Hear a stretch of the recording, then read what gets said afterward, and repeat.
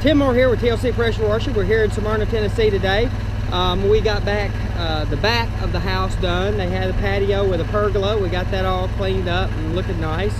And uh, we're going to be doing the sidewalks and the driveway. So join me as I make a time-lapse video. The driveway is yeah, it's pretty bad shape. It's been a while since it's been done.